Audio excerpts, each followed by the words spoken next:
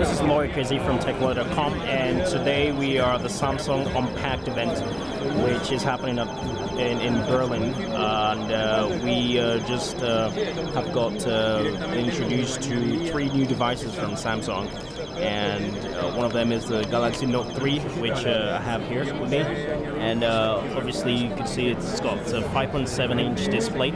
Uh, it's got some amazing great features, including multi-window, and um, it always comes with the latest Android 4.3 Jelly Bean, and the battery life is also improved from uh, the Note 2. Uh, it's got a 3200 milliamps hours for, for the battery life, and um, so this is basically um, a quick uh, hands-on experience with it and uh, we're going to quickly see how the S Note uh, works.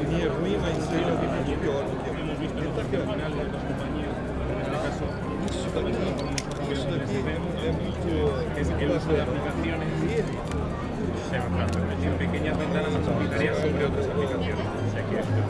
let's quickly go back to that.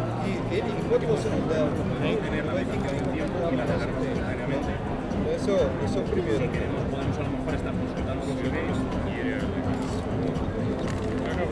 So you can take business notes, you can also take your daily notes and also you can do a checklist uh, as you like it. Uh, so this is basically a hands-on review and we'll be checking out the device much later. Uh, you can check more reviews on TechWeather.com.